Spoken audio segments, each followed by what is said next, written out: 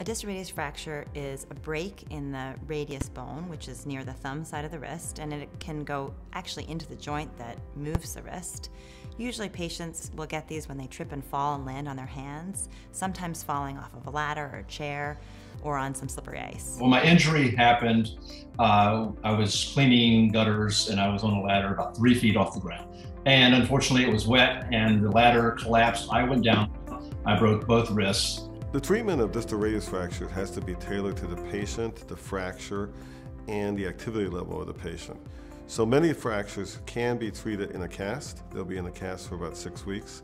After that, uh, they'll transition to a brace, and we encourage them to be moving their fingers even during the time in the cast so they don't get stiff. Sometimes when the bone is broken and it has moved so far out of place, or it goes into the joint surface that allows a patient to move their wrist normally, surgery is required in order to bring the bone back into its normal position. So most surgery for distal radius fractures is open reduction internal fixation.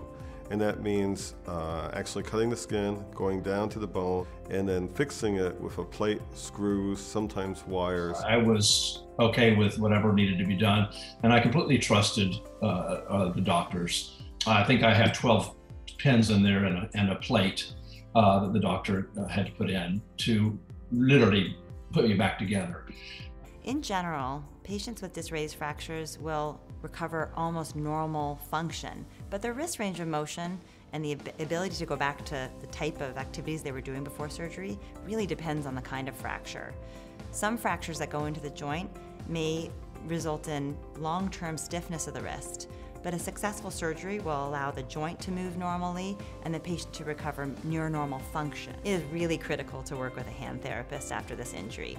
Whether it's treated with surgery or without surgery, hand therapy really helps patients optimize their full return to function. After a patient has an ORIF, um, after a distal radius fracture, um, therapy will help them to regain their motion, as well as to educate them on kind of progressive milestones as to when they can return to their normal activities. Having the patient being able to return to independence with their bathing and their dressing tests, returning to work, being able to return to sport at the appropriate time after they've regained their motion. We wouldn't necessarily see them for an extended period of time. We would typically see them two to three times a week initially.